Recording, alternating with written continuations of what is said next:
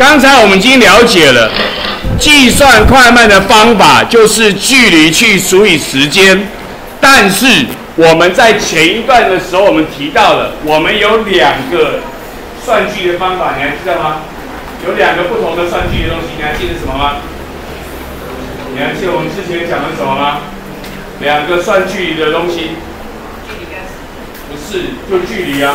我们教两个，望、位移和还有一个叫做什么？路程。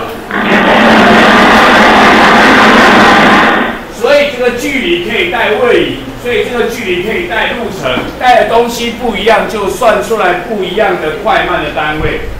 我们还教过一件事情，叫做什么情况之下，位移的大小就是路程，两个是一样的，你还记得吗？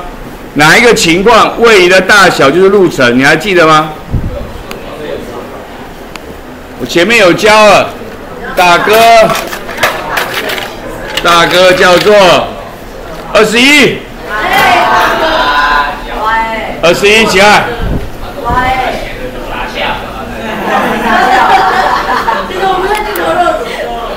讲话不会，不知道，不明白。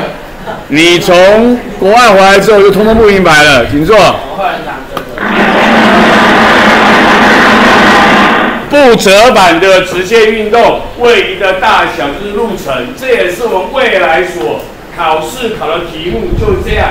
所以我还跟你讲说，以后我们就不会太仔细分别位移跟路程。但是一开始学的时候，我们会出各种题目，考验你对位移跟路程的了解。OK，所以我们就有两个单位，一个叫做速度，一个叫速率。塞进去的距离不一样，答案就不一样。第一个呢，表示方法就是拿位移去除以时间；一个就是拿路程去除以时间。位移除以时间呢，我们称为速度。路程除以时间呢，我们称为速率。所以，我们表达快慢的方法有两种：一种是拿位移去除以时间，一种是拿路程除以时间。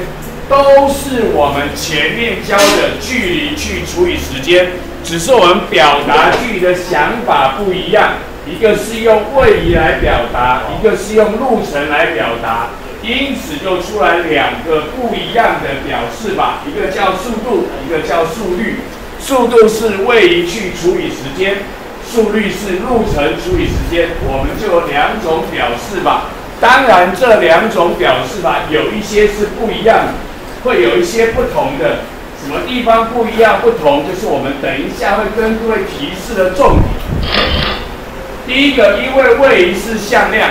所以速度呢也是向量，也就是提到速度就要有大小有方向，向量就是要有大小有方向。我们把公式写成这样子，我们讲过位移就是 s two 减 x one，有没有？后面位置减前位置，然后除以时间 t two 减 t one，delta 代表改变的意思，所以我们就是所谓的速度的计算就是位移去除以时间。